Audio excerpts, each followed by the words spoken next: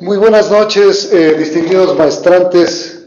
Es para mí un eh, placer inmenso y un honor el poder estar una vez más con ustedes, en esta vez para referirme a uno de los eh, módulos más interesantes que tiene esta maestría, cuál es el de análisis de clásicos latinoamericanos de la literatura infantil y juvenil.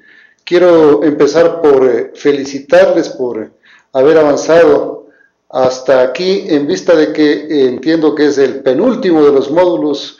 Después de este solamente vendrá el de análisis de eh, textos eh, significativos de la literatura infantil y juvenil del Ecuador y habrán culminado este proceso. De tal manera que mis felicitaciones y mis deseos porque este proceso culmine con éxito. Eh, quiero empezar eh, recordándoles que esta maestría es quizás dentro de la región latinoamericana única.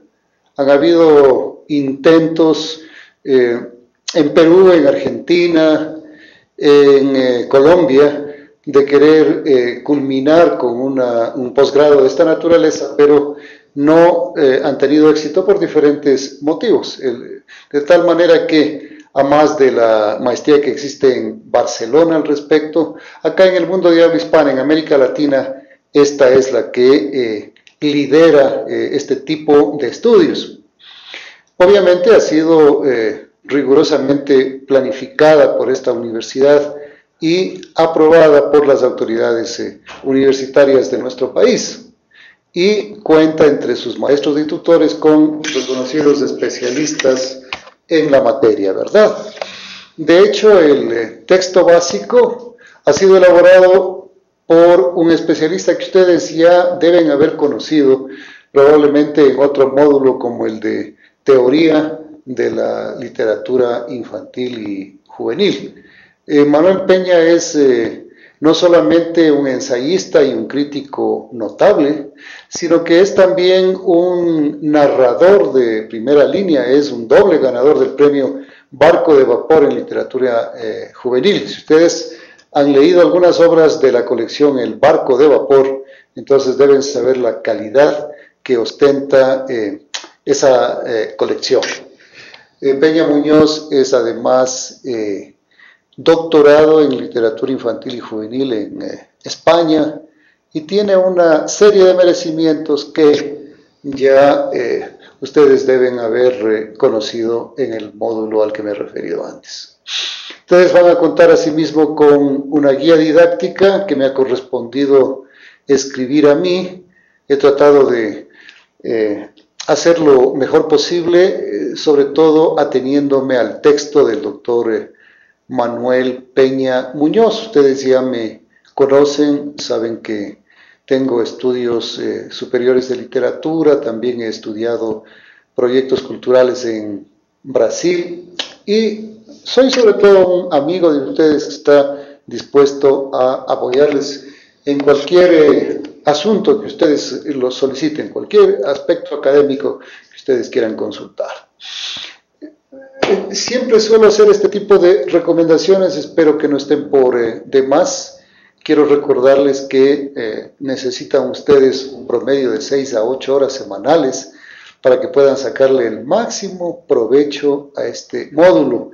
Y en esas horas ustedes deben leer y estudiar el texto básico, su guía didáctica, desarrollar los ejercicios, leer y analizar los anexos, consultar en Internet los temas relacionados con el módulo, pero con una advertencia, a veces de 10 artículos, de 10 textos que ustedes encuentran en Internet, solamente uno es realmente significativo y valedero. Y asimismo, cuando ustedes encuentren en Internet algún texto que vayan a utilizar, no se olviden de citarlo adecuadamente de acuerdo con las normas APA, que son las que rigen nuestros eh, estudios. Usted puede además relacionarse conmigo a través de cualquier medio, puede llamarme por teléfono, puede ponerme un correo electrónico, puede acudir al EVA.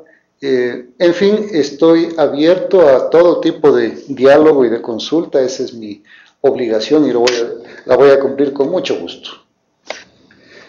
Quisiera también eh, sugerir una vez más que creen un código personal cuando lean su texto, su guía o cualquier material complementario.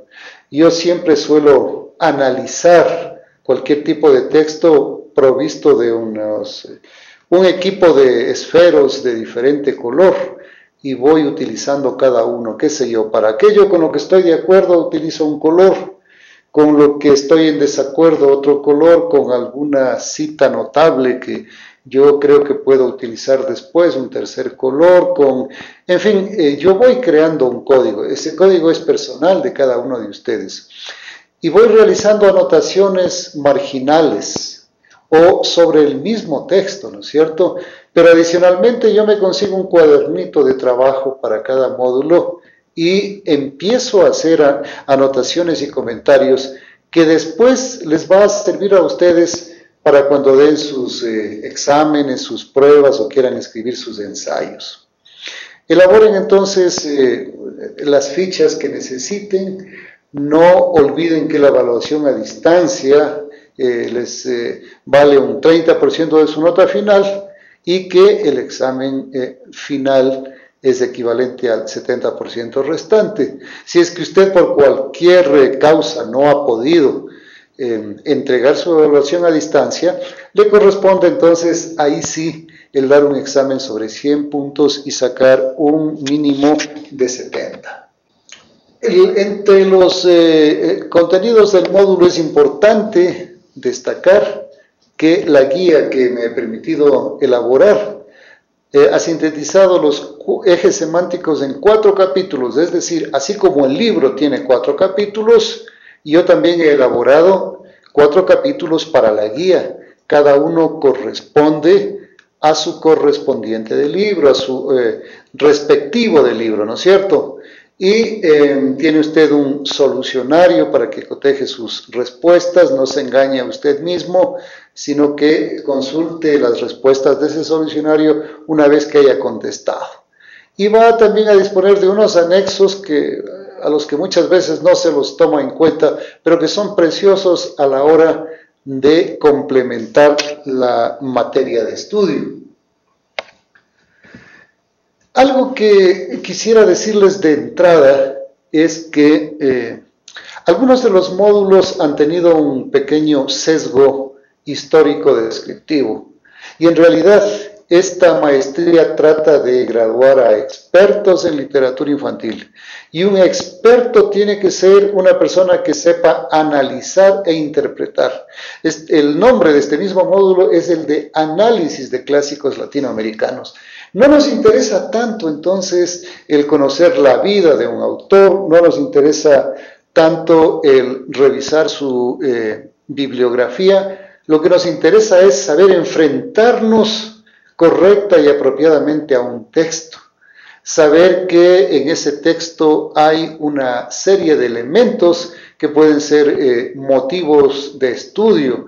Eh, hablemos, por ejemplo, de los acontecimientos, de la focalización, del tratamiento del tiempo, del espacio, de la cosmovisión, de la intertextualidad, una serie de elementos que el mismo texto va a empezar a decirnos, porque eh, usted tiene que tratar de interrogar al texto. Entonces, haga eh, de este módulo más bien un eh, material en el cual vaya a ejercitar sus aptitudes de análisis. Para eso le sugerimos utilizar instrumentos de análisis textual que se los vamos a recordar al final de estas diapositivas y que las vamos a utilizar el día de mañana en la asesoría presencial. Quiero decirles que algunos eh, estudiantes me han escrito y me han dicho que en vista de que no podrán estar presentes en esa asesoría presencial, que yo trate de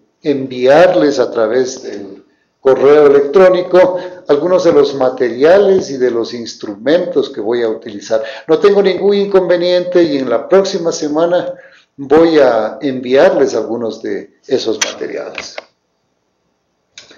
Entonces, eh, dichas estas cosas previas, empecemos este viaje que nos propone Manuel Peña a lo largo del territorio latinoamericano, ¿no cierto? Manuel Peña eh, no ha creado, no ha dividido ni subdividido en estaciones, ni en capítulos, ni en segmentos a estos eh, países y a, a los autores que están presentes, pero yo sí me he permitido hacerlo, solamente para efectos didácticos e incluido entonces a México, El Salvador y Nicaragua como primera estación, a Costa Rica, Cuba, Colombia y Venezuela como segunda, a Brasil, Ecuador y Bolivia como tercera, y a Perú, Argentina, Uruguay y Chile como meta final. Esta es entonces la dirección, el rumbo, la ruta que vamos a seguir en nuestro estudio. Eh, los autores eh, no se han presentado entonces necesariamente en orden alfabético ni cronológico, sino de acuerdo con esta un poco arbitraria configuración de estaciones, de, puertos, de segmentos, ¿no es cierto? Y eh, quiero también decirles que eh, como el libro de Manuel Peña tiene ya un par de años de haber sido impreso, eh, eso no demerita en nada su actualidad, pero han pasado dos años y en estos dos años ha habido escritores que han ganado premios importantes como el premio Andersen o como el premio Astrid Lindgren y no estaban considerados en el libro, yo sí me he permitido por eh, motivos de actualización el incluirlos en esta asesoría eh, presencial que voy a dar y también en esta videoconferencia. Si empezamos nuestro recorrido por México, nos vamos a encontrar con alguien que se caracterizó por hacer felices a los niños con sus eh, poemas y con sus canciones, con las letras de sus canciones que eran auténticos poemas. Su nombre es Gabilondo Soler y el personaje que lo caracteriza, que lo identifica, es Cricri. Entonces, Las aventuras de Cricri es una de sus obras básicas.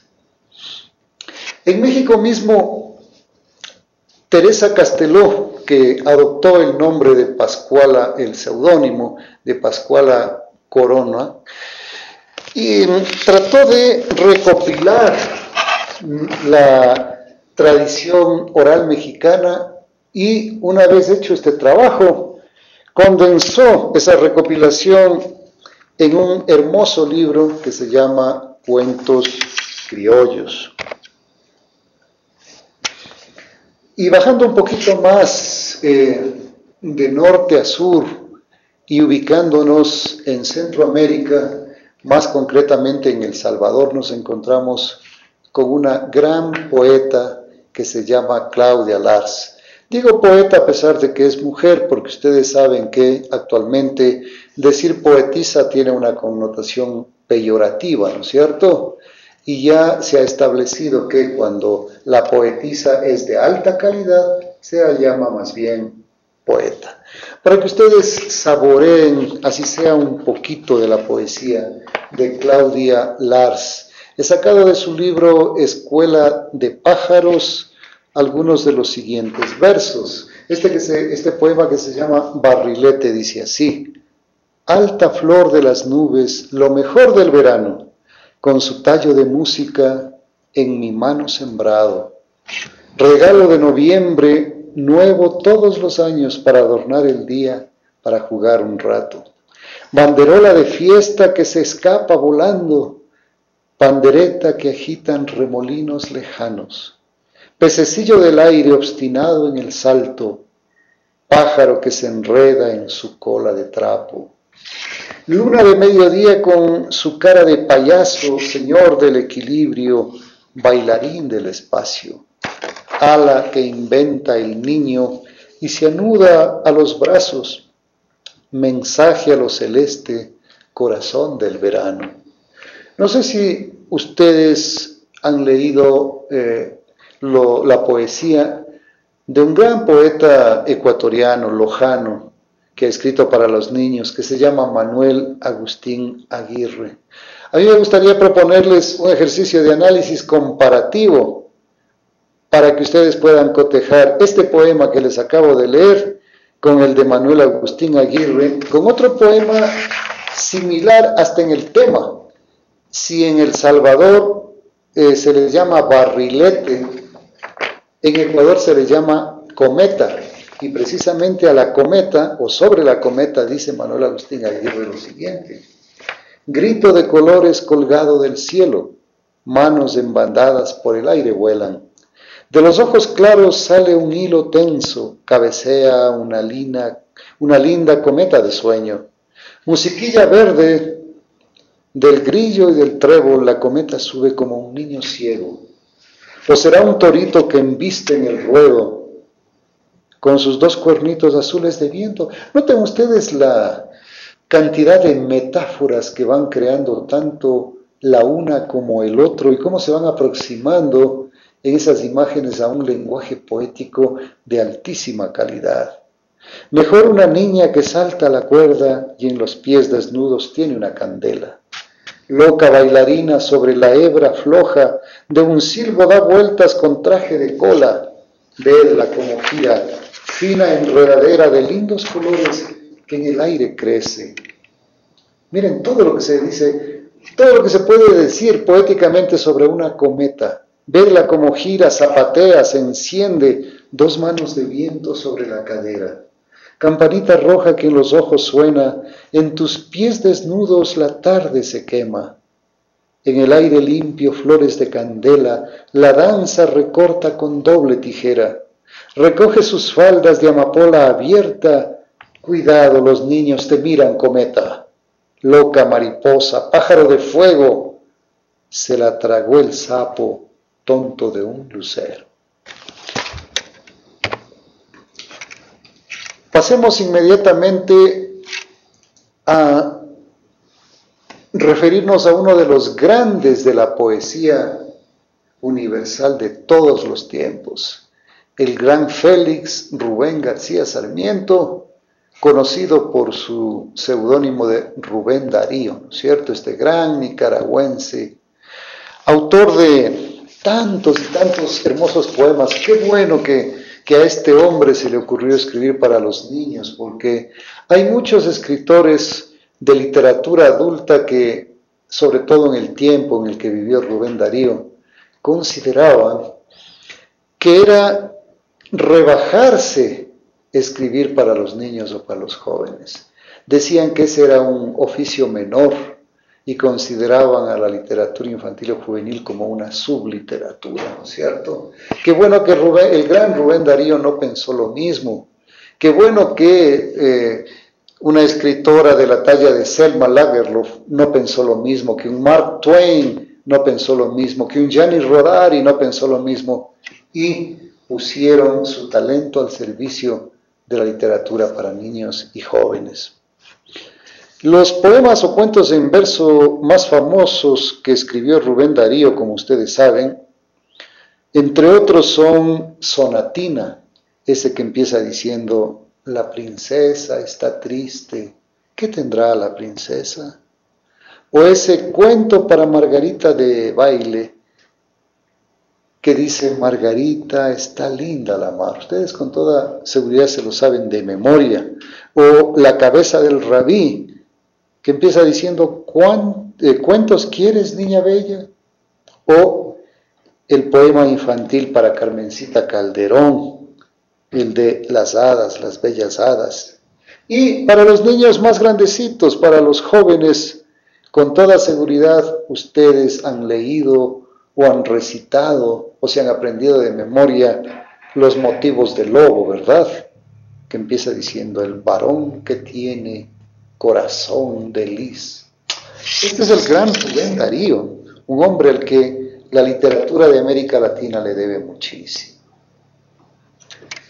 Y en el mismo país de Rubén Darío encontramos a María Isabel Carvajal, asimismo más conocida por su seudónimo, Carmen Lira. Qué manía esta de los eh, escritores, sobre todo de aquella época, de ponerse seudónimos, ¿no es cierto?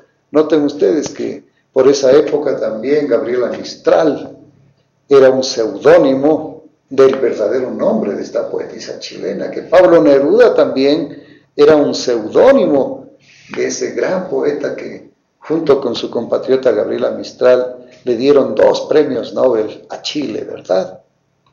Entonces, Carmen Lira o María Isabel Carvajal escribe un libro hermosísimo que se llama Los cuentos de la tía Panchita, que coincide en su contenido con los eh, de Pascuala Corona, a la que eh, nos referimos hace un momento, a la mexicana Pascuala Corona, porque también Carmen Lira se dedica a investigar, a recopilar y a recrear la narrativa de tradición oral en sus respectivos países. Miren que la narrativa de tradición, la tradición oral en general ha sido fuente de inspiración y de recreación para muchísimos de los grandes escritores latinoamericanos.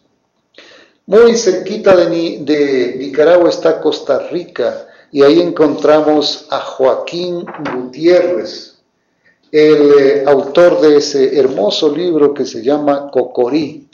Cocorí cuenta la historia de un negrito de la costa atlántica costarricense que ve descender de un barco a una niña blanca y rubia.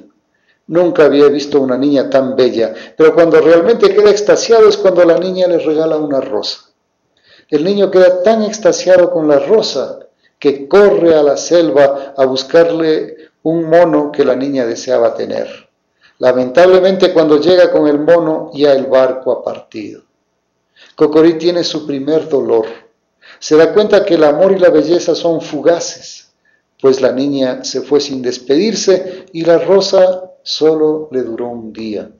Entonces, desconsolado, se dirigirá a la selva para preguntarles a una tortuga y al mono por qué la niña se fue sin despedirse y por qué murió su rosa.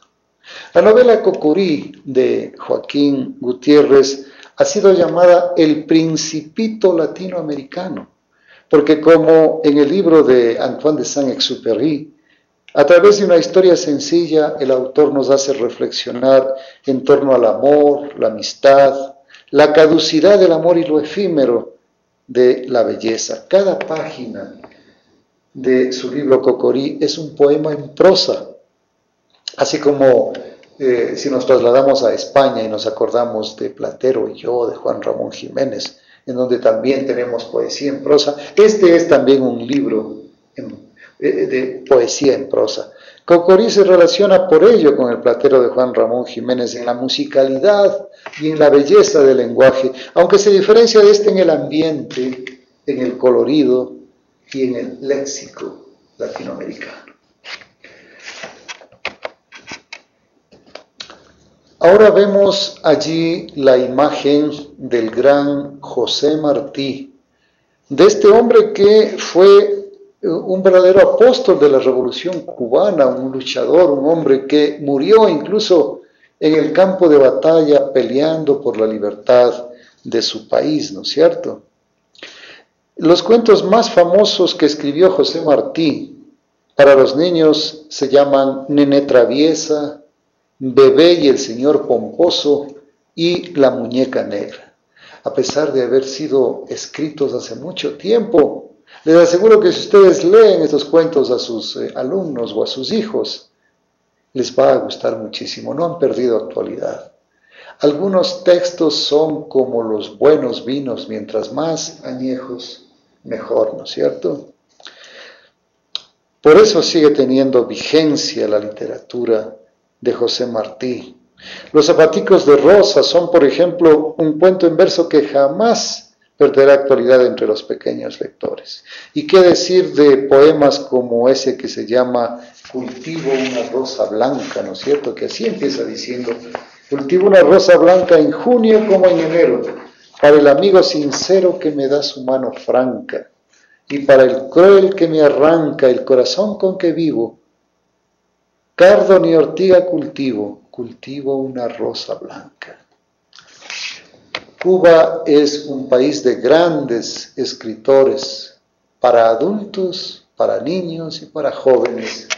Y de allí es precisamente Nicolás Guillén eh, quien recoge lo mejor de su producción literaria, un poemario que se llama Por el mar de las Antillas anda un barco de papel.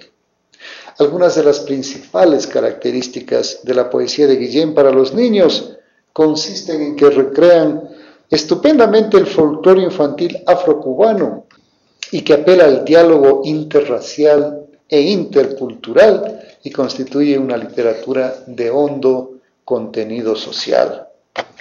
Cuba, bien, ahí tenemos, ustedes pueden ver uno de los tantos hermosos poemas escritos por Nicolás Guillén, ¿no? Ay, señora, mi vecina, se me murió la gallina. Con cresta colorada y el traje amarillo entero, ya no la veré atareada paseando en el gallinero. Pues, señora, mi vecina, se me murió la gallina domingo de madrugada. Sí, señora mi vecina. Ay, señora mi vecina, domingo de madrugada. Míreme usted como sudo, con el corral enlutado y el gallo viudo. Míreme usted como lloro, con el pecho destrozado y el gallo a coro. Ay, señora mi vecina, ¿cómo no voy a llorar si se murió mi gallina? ¿Cómo no quisiera que ustedes puedan disfrutar este poema y encontrar una serie de elementos para el análisis textual. Y en Cuba mismo, Cuba es una potencia cultural. En Cuba encontramos a otra gran narradora y poeta que se llama Dora Alonso. Y una de sus obras más representativas en la poesía se llama La flauta de chocolate, otra se llama Palomar, pero en la narrativa les recomendaría leer y releer una novela que se llama El Valle de la Pájara Pinta. Pero creo que es hora de pasar ya a un nuevo país y no, Cuba siempre está presente y ustedes deben conocer a este escritor de primera que se llama Antonio Orlando Rodríguez, muy joven este escritor, nacido en 1956, ganador incluso de un premio de literatura para adultos de una novela, ganó el premio Alfaguara con una novela que se llama Chiquita, que narra la historia de una enana que eh, causó sensación en su época. Pero ya para los niños tiene obras excelentes, ¿no es cierto? Entre otras, este poemario que se llama Mi bicicleta es un hada. Les recomiendo leer a este autor. Miren ustedes, saboreen un poco de la poesía de Antonio Orlando Rodríguez. El lunes, cortarles las uñas a los duendes. El martes, llevar al dinosaurio a su lección de música. El miércoles, escribir tres cuentos alegres y uno muy triste. El martes, llevar el dinosaurio, eh, el, perdón, jueves y viernes dejar en todas las playas, los ríos y las lagunas del mundo botellas con mensajes que digan te quiero, regálame una sorpresa, vivan las lagartijas. El sábado ir de paseo en alfombra mágica con todos los muchachos del barrio. Y el domingo echar al piste mucho alpiste a los sueños. He ahí, por ejemplo, eh, textos poéticos que son dignos de analizarse en un trabajo de grado. No creo que todavía nadie haya acometido el análisis de la producción poética para niños de Antonio Orlando Rodríguez. Yo les propongo desde ya a quien esté interesado. Y llegamos a Colombia, en donde hay un autor característico con poemas que eh, estoy seguro ustedes eh, se lo saben de memoria. Me refiero a La pobre viejecita, por ejemplo, ¿no es cierto? O al renacuajo paseador, o Simón el Bobito. Rafael Pombo es de los grandes autores de literatura infantil. Y en Colombia mismo tenemos a otro poeta enorme que ha escrito con una sencillez extraordinaria pero con una dulzura y una ternura increíbles también. Me refiero a Jairo Aníbal Niño, que tiene hasta el apellido para escribir literatura infantil, el apellido preciso. Les recomiendo este libro de poesía que se llama La alegría de querer. Aquí hay un poemita de él. Todos trasnocharon para ver el copeta Halley. Yo solo tenía ojos para contemplar la lejana estrella iluminada de tu ventana. Así es la poesía de Jairo Aníbal Niño, sencilla, elemental pero profunda y tierna. Tiene otro poema que se llama Lección de Música, que dice do, re, mi, fa, sol, la, si, si, si, mi, sol, si. Y aquí entramos un poco a la República Bolivariana de Venezuela, en donde Teresa de la Parra brilló con luz propia, con un hermoso libro que se llama Memorias de la Mamá Blanca. Eh, es la infancia de una niña rica, rodeada de institutrices, ayas y criados, y con un padre que cabalga recortado sobre el cielo de la hacienda o que está encerrado en su escritorio mientras ella se sentaba en el pretil contiguo. La novela es un canto a la amistad femenina y a la relación de afecto entre hermanas, madres, abuelas, hijas y nietas, que eran las que quedaban solas en la hacienda mientras el padre y los peones iban, salían al campo a trabajar. Para Teresa de la Parra, las mujeres ocupan el lugar del afecto y la comprensión mutua en tanto que los personajes masculinos aparecen fríos y distantes. Y por qué no decirlo también un poco o bastante machistas. En Venezuela mismo contamos con la figura egregia, perdón, hemos pasado ya de Venezuela a Brasil, porque aquí estamos mirando a uno de los grandes de la literatura infantil brasileña. Estamos hablando de Monteiro Lobato, fundador de la literatura infantil brasileño.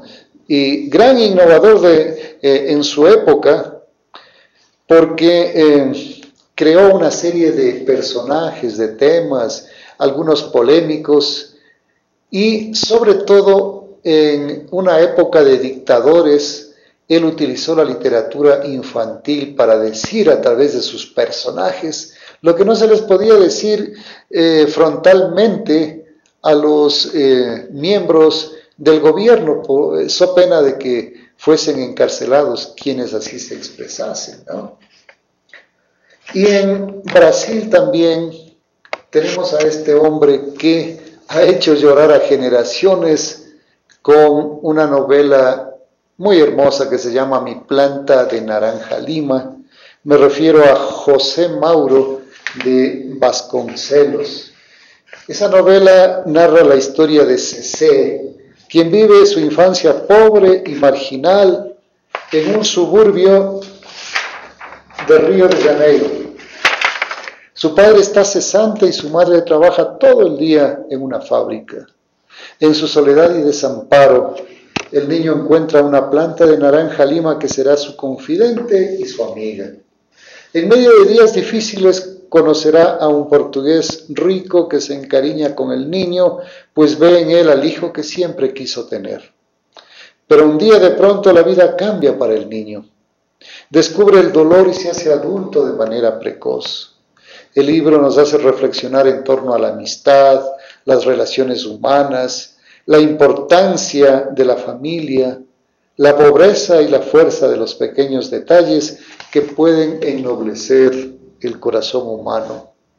Esta novela me ha recordado siempre otras que tratan el tema de la relación niño-adulto.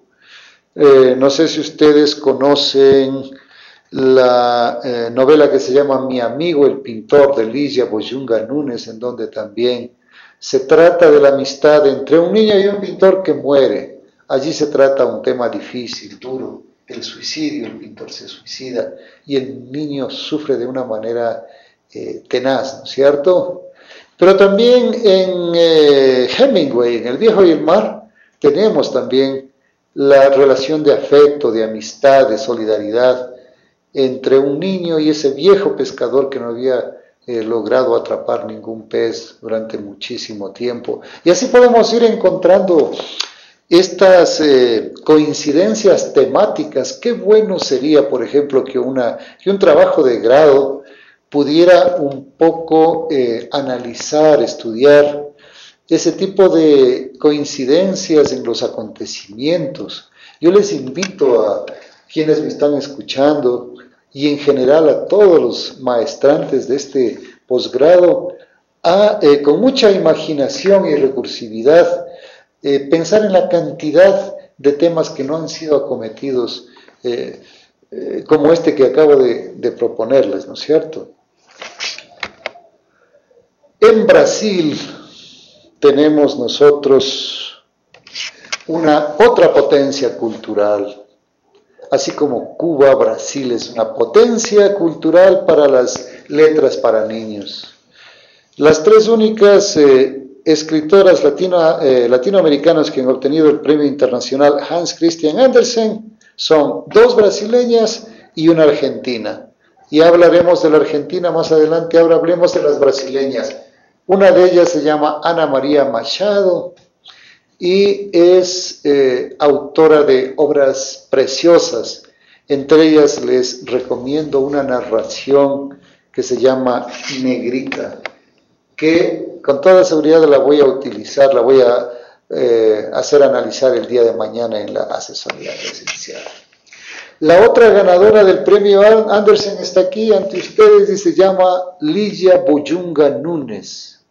Y aquí está precisamente eh, enunciada la obra de la que les hablaba hace un rato, mi amigo el pintor.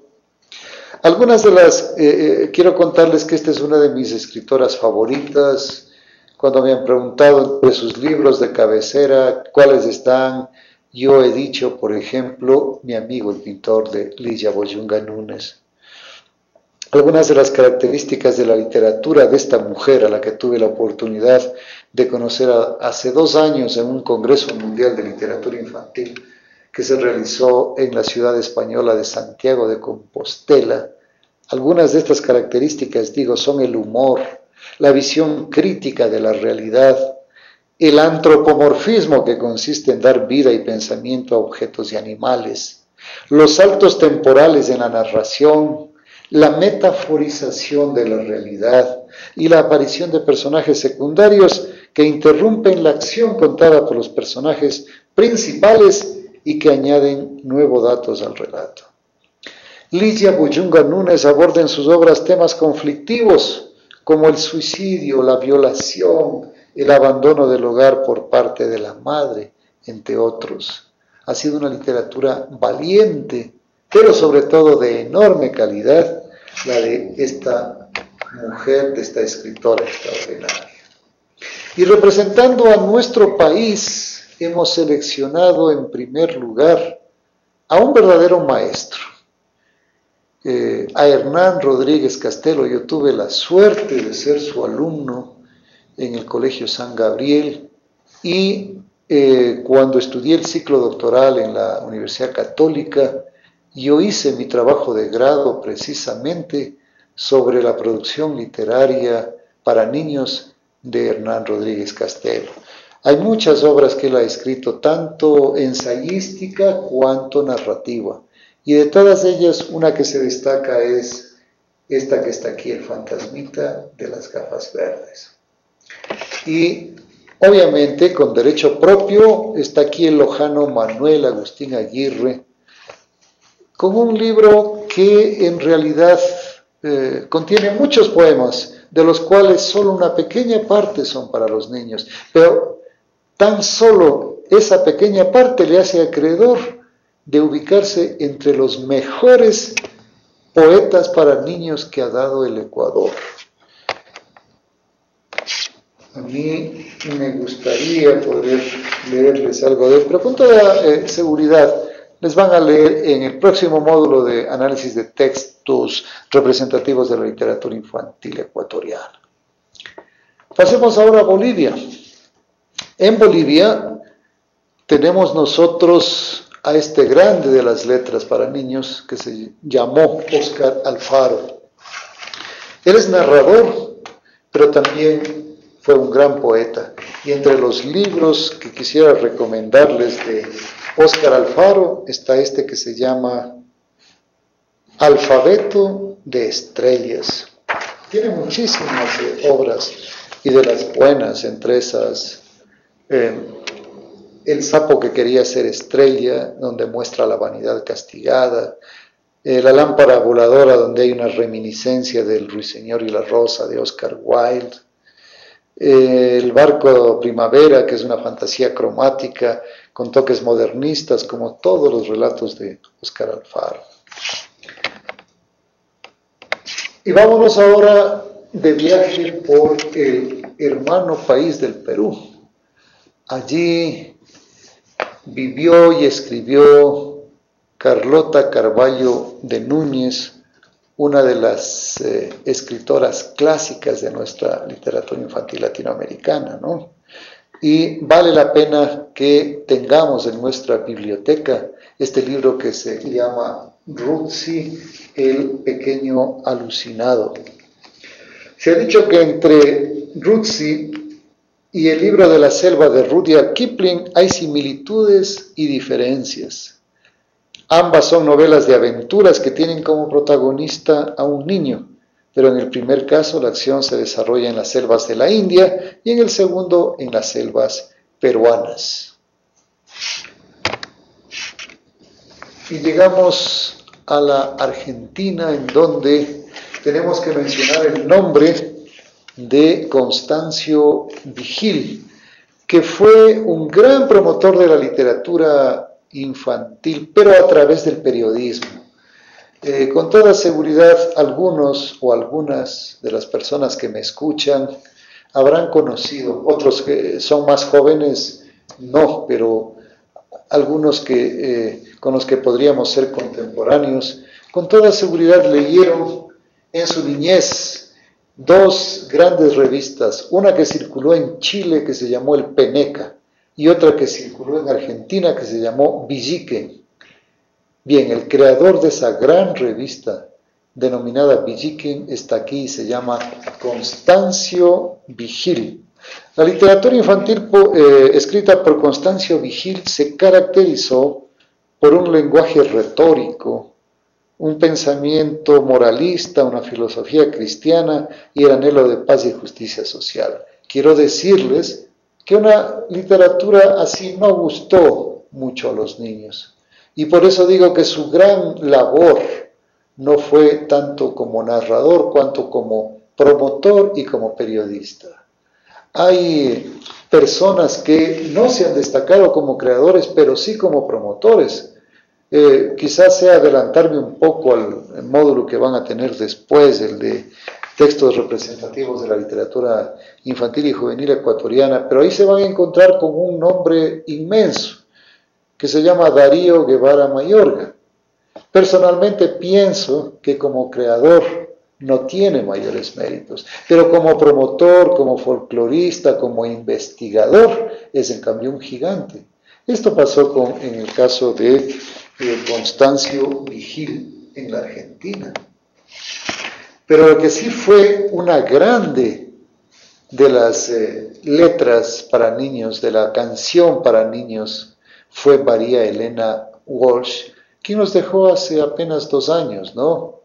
y que se caracterizó por escribir una poesía irreverente, completamente desmitificadora, humorística, y que en varios libros, pero especialmente en este que se llamó El reino del revés, nos dio a conocer poemas que hasta, hasta entonces nadie se había atrevido a escribir porque pensaban que la poesía para niños tenía que ser patriótica, cívica, seria, ceremoniosa, sin darse cuenta de que ese es precisamente el tipo de poesía que los niños detestan.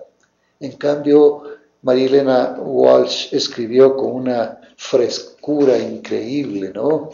Hay una una gran cantidad de poemas y de cuentos que fascinaron a los niños. Ah, aquí tenemos una muestra de cómo escribía María Elena Walsh. El poema Una nena dice, había una nenita en Tacuarí que solamente hablaba con la I. ¡Qué papelón un día! Delante de su tía, en lugar de papá, dijo pipí. Así escribía María Elena Walsh. Y una autora que no está enunciada en su libro, en su texto principal, pero sí en la guía. Y en esta presentación es María Teresa Andrueto. Eh, es nada más y nada menos una de las tres únicas escritoras latinoamericanas que ha ganado el premio Hans Christian Andersen. Eh, tenemos que recordar que el premio Andersen es conocido como el Nobel de la literatura infantil. Así como no hay premio más importante para las letras eh, para adultos como el premio Nobel, tampoco hay un premio más significativo que el premio Andersen.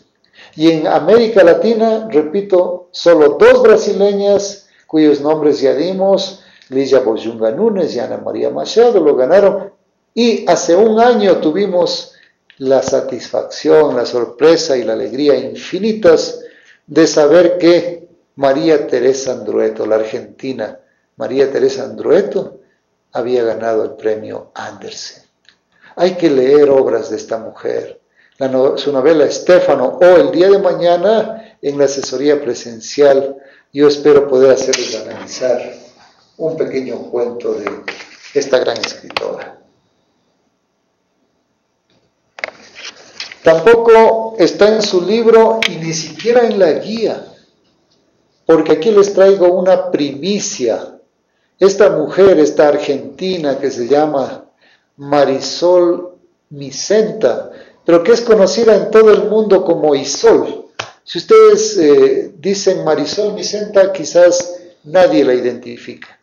Pero si dicen, eh, van a una librería y piden un libro de Isol, inmediatamente les van a sacar 10 o 20 libros. Esta es una escritora e ilustradora genial que acaba de ganar otro de los grandes premios universales, mundiales de las letras para niños, el premio Astrid Lindgren Ahora existen dos premios importantes en este campo, el premio Andersen y el premio Lindgren. Y esta Argentina es la primera en ganar el premio Astrid Lindgren. Vean ustedes cómo Argentina empieza a destacarse y su literatura empieza a ser reconocida como lo fue antes, en una época en la que descollaba por su cultura, su intelectualidad, y en la que eh, nombres como los de Julio Cortázar y de Jorge Luis Borges deslumbraban al mundo. Ahora lo está haciendo nuevamente este país a través de sus escritores para niños y para jóvenes. Vale la pena entonces que leamos eh, estos libros que mayormente son libros álbum, son, eh, porque Isol es escritora, sí, pero eh, mayormente es ilustradora. No olviden este nombre, Isol. Y en Uruguay, ese pequeño país que colinda con Argentina, vivió este gigante de las letras americanas, tanto para adultos como para niños, que se llamó Horacio Quiroga, ¿no es cierto?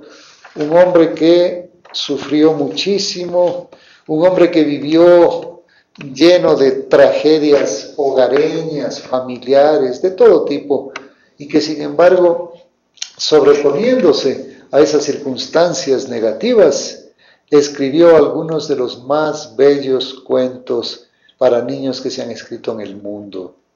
Así como Oscar Wilde es en Europa una de las cumbres de la literatura infantil, Quiroga lo es en América.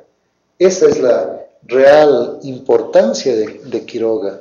Tenemos que leer, por ejemplo, los cuentos eh, eh, a mis hijos, tenemos que leer los eh, cuentos de la selva, porque vale la pena. No debe faltar en nuestra biblioteca un volumen de este autor, cuentos como La Gama Ciega, por ejemplo, o La Tortuga Gigante, o Las Medias de los Flamencos. Son cuentos antológicos. Aquí me parece que nos fuimos demasiado lejos antes de terminar. A ver, después de Quiroga. En Uruguay mismo está la gran poetisa, iba a decir, pero es mejor decir poeta, Juana de Ibarború, quien además de haber escrito hermosísimas poesías como Los sueños de Natasia, esas rondas, Escribió también una novela hermosa que se eh, llama Chico Carlo, ¿no es cierto? Su primer contacto con la literatura a través del folclore infantil.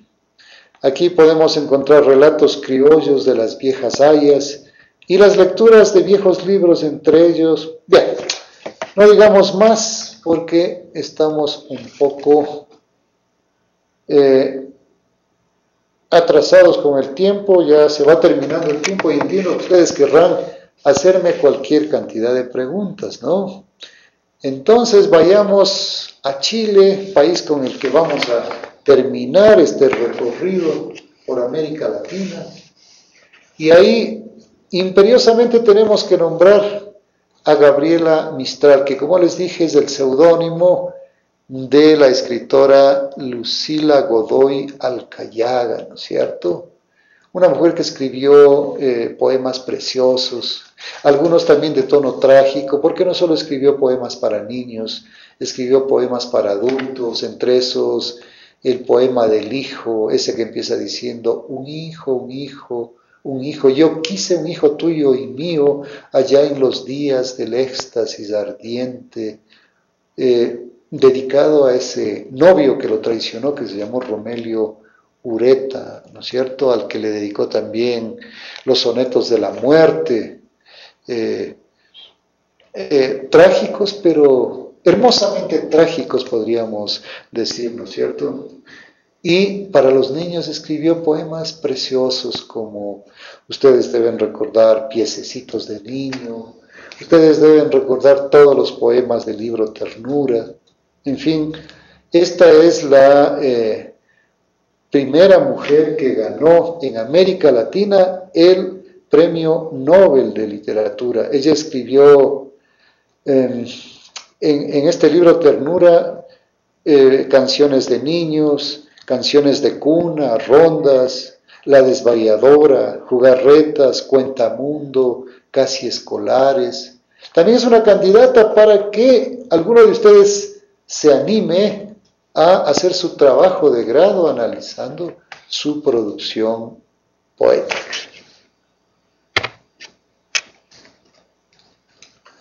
En Chile también podemos encontrar a una de las fundadoras de las letras para niños, no solo en ese país, sino en América Latina, Marcela Paz. La escritora chilena Marcela Paz conoció a José Luis Claro, un ingeniero estudioso y reservado que tenía relaciones profesionales con la familia de la joven. Cuando ella empezó a llamar a voluntarios para su hogar de niños ciegos, el joven José Luis se alistó enseguida para colaborar con ellas. Entre los dos surgió una amistad que se vio interrumpida porque el joven se fue a los Estados Unidos por dos años. Esther Neu se llamaba Marcela Paz, porque Marcela Paz es también el seudónimo. Esther se queda preocupada y triste, recordando a José Luis, a quienes sus amigos le decían cariñosamente Pepe Lucho, Pepe Lucho. Ese nombre lo pronunciará muchas veces Esther Neus durante años y se convertirá con el tiempo ya no en el Pepe Lucho, sino en el Papelucho, el personaje que será famoso protagonizando sus libros. Este es otro clásico, otro libro que no debe faltar en la biblioteca de cualquier especialista en literatura infantil que se respete. Papelucho es un libro que revela las formas de vida de una familia disfuncional chilena, en la que los padres están ausentes y no le brindan ningún afecto al niño, pese a que la familia se mantiene unida solo en apariencias. En este sentido, el libro ofrece una íntima atención, pues interesa al niño, pero el lector adulto percibe una crítica muy dura y cáustica a la familia tradicional chilena, con atisbos de hipocresía y de egoísmo. El padre está ausente, en un momento se le presenta como su mejor amigo, pero el niño necesita más a un padre que a un amigo. En un momento el niño escribe en su diario, me voy de la casa, me voy para correr por el mundo y para huir de las injusticias de la vida. Me voy a la montaña donde nadie me insulte y me desentienda. Mi padre es cruel y me aborrece. En tanto la madre también brilla por su ausencia y cuando aparece es dura con el niño, lo castiga duramente. Papelucho escribe en su diario, mamá estaba como loca y me dio 17 pellizcazos. Esto en la literatura de hoy no llamaría la atención, pero miren ustedes la época en la que vivió Marcela Paz. Ella vivió entre 1902 y 1985 y esta es una obra que se publicó en un momento en que la sociedad chilena era conservadora, estrictamente conservadora, y decir esto en la voz de un niño era casi un atentado. Así que además de una voz valiente, esta es la voz de una narradora de gran calidad. Y también en Chile con ella vamos a concluir.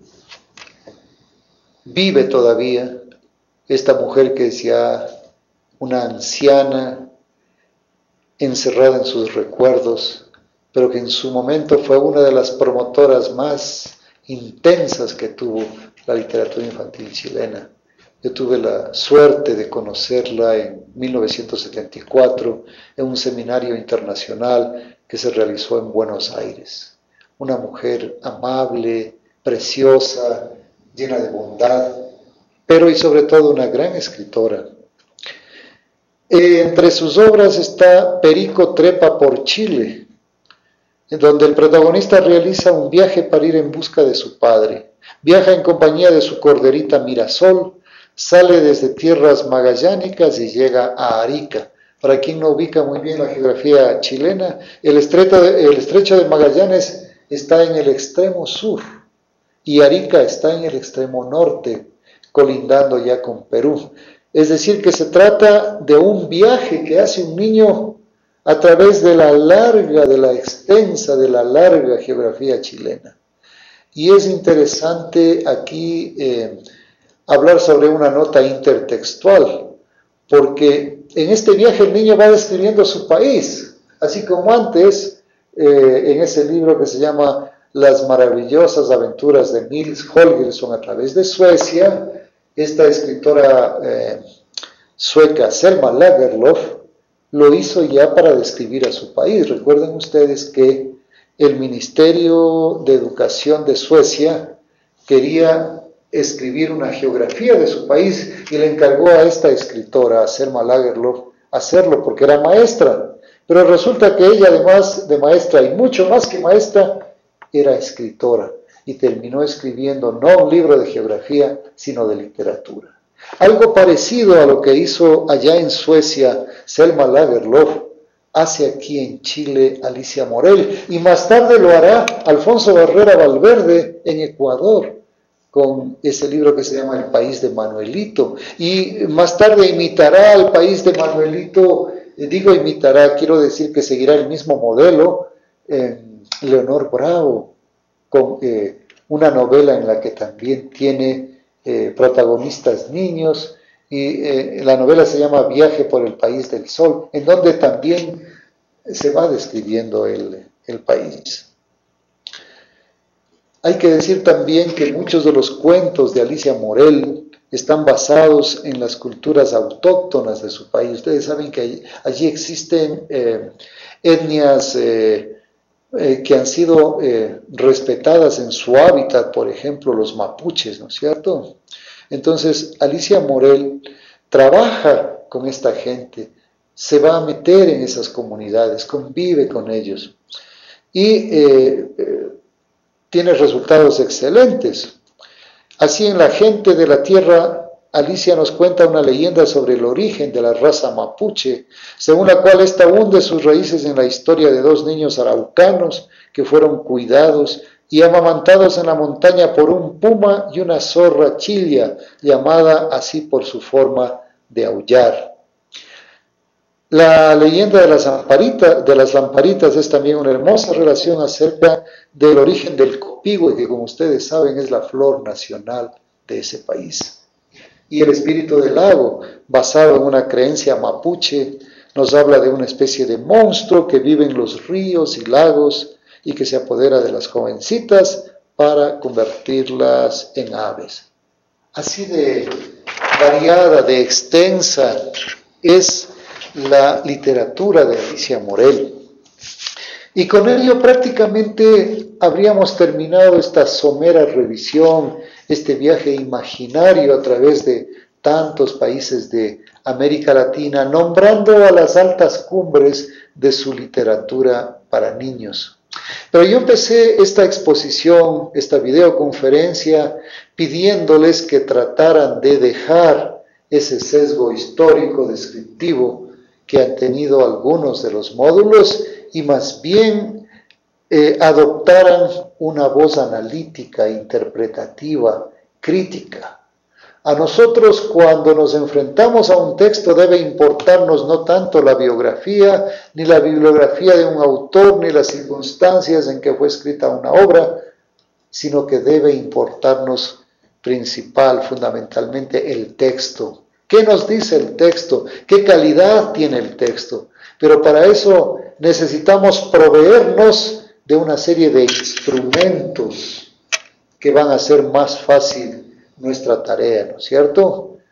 Por eso quiero aquí recordarles, eh, y he tomado de algunos de los módulos que ustedes han revisado, y también pues de mi biblioteca personal, esto que he denominado instrumentos básicos para el análisis textual.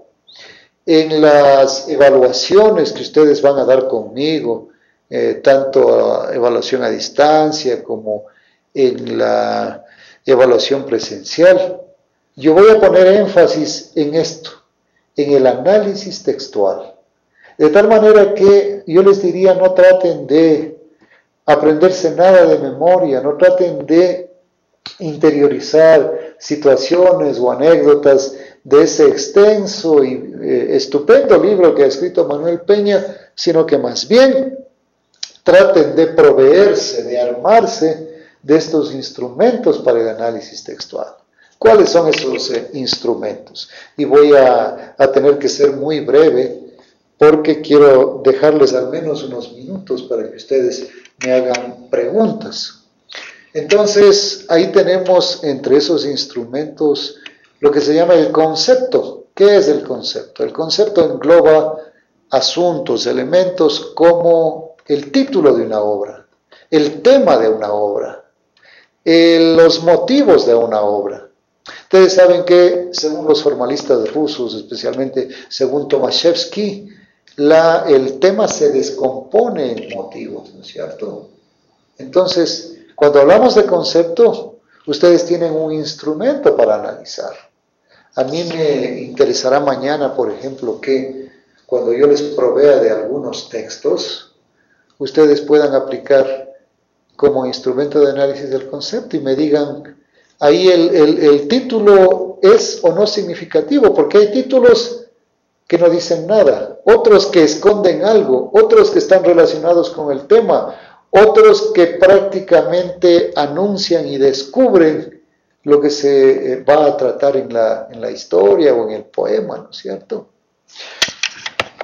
Pero aquí está.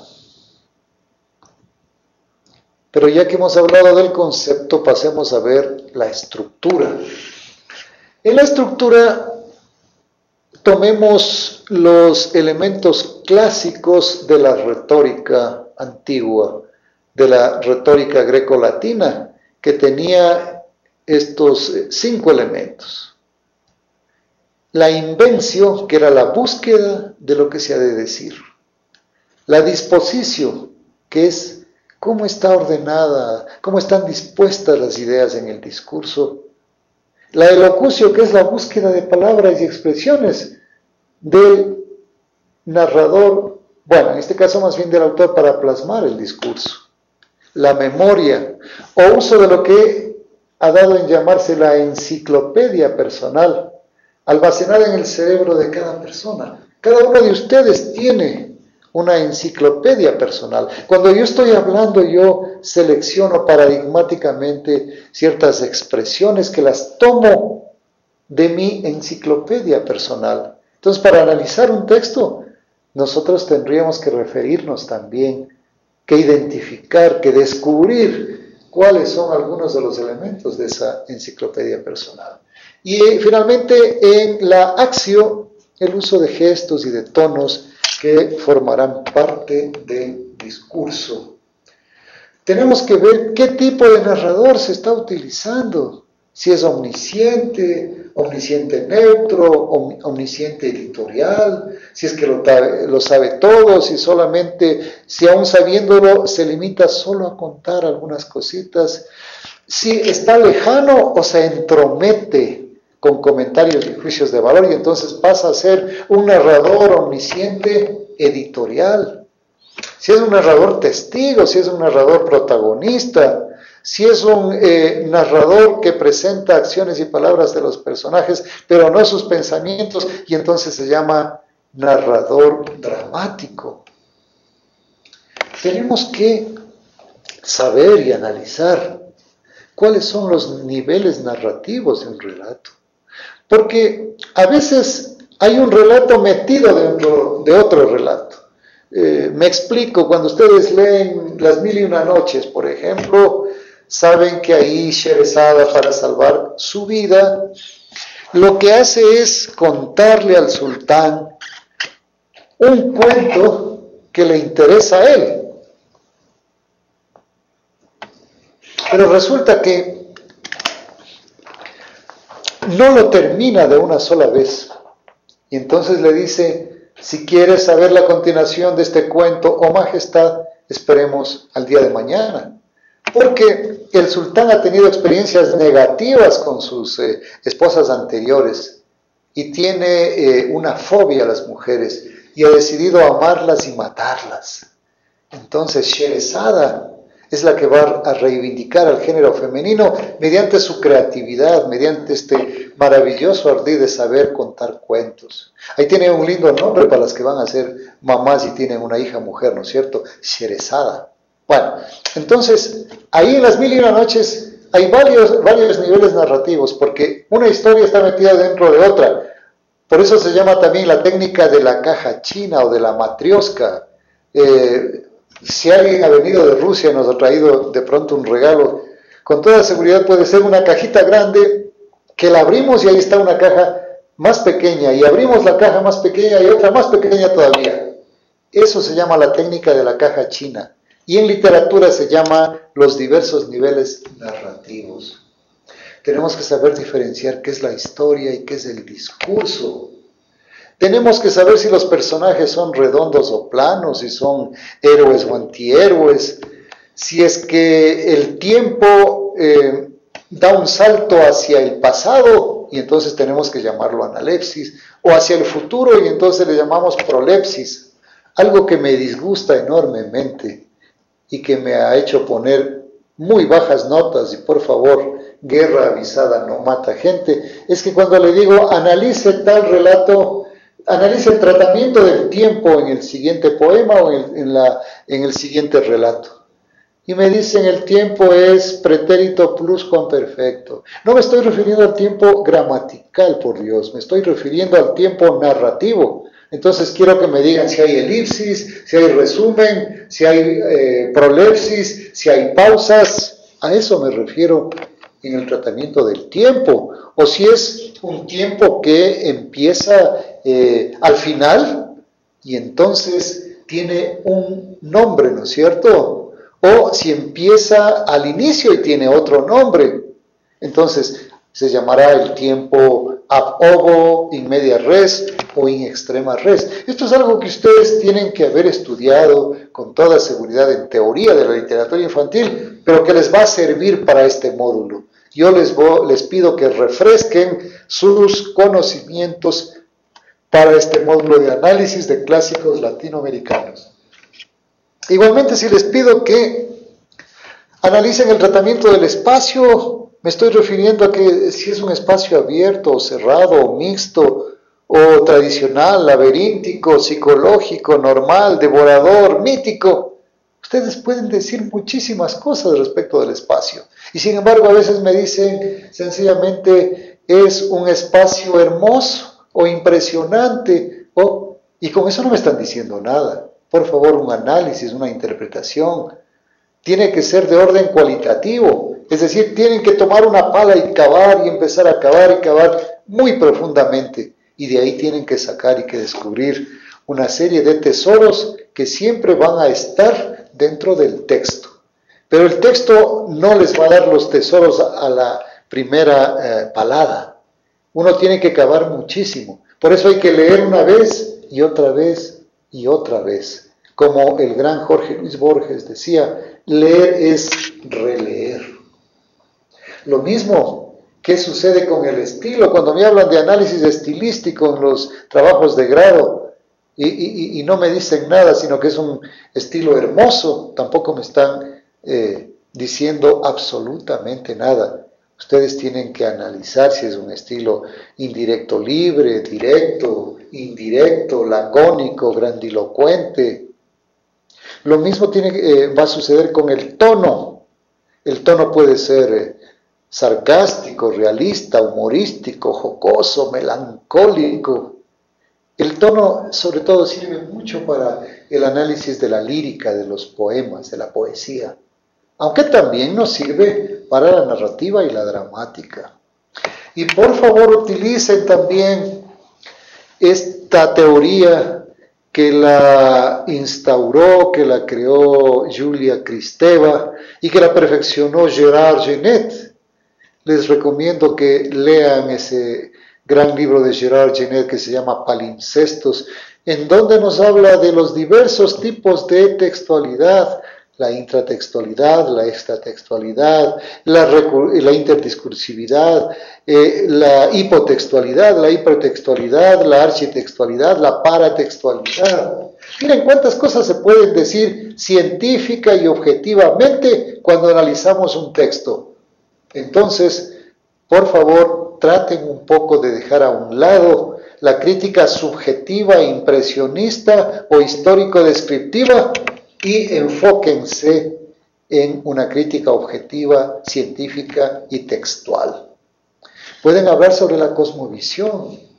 En la cosmovisión están la ideología, los valores, los símbolos, lo que el eh, narrador nos dice respecto del sentido de la vida, las tesis que, con las que está de acuerdo, con las que no está de acuerdo. Ahí podría estar justificado el hablar de valores, pero no que un trabajo de grado, sea, los valores en la obra de fulano de tal. No, porque los, eh, los valores son parte de la ética y la ética parte de la filosofía. La filosofía estaría bien para un eh, posgrado en pedagogía, pero este es un posgrado en literatura. Y entonces, cuando ustedes analicen la cosmovisión, ahí podría tener sentido hablar también algo de los valores, como algo eh, parcial, importante, pero parcial.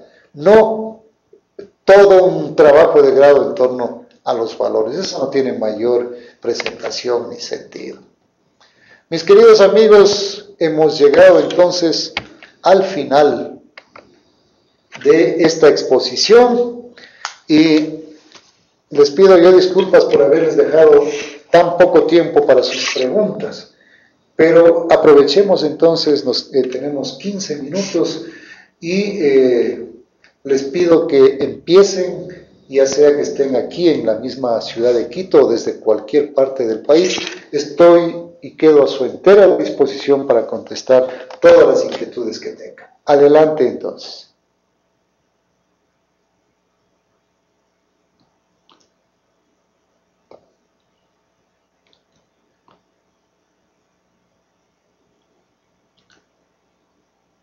No sé si desde Loja o desde la cabina central nos pueden ayudar dando paso a la voz de los maestrantes para que puedan hacer preguntas.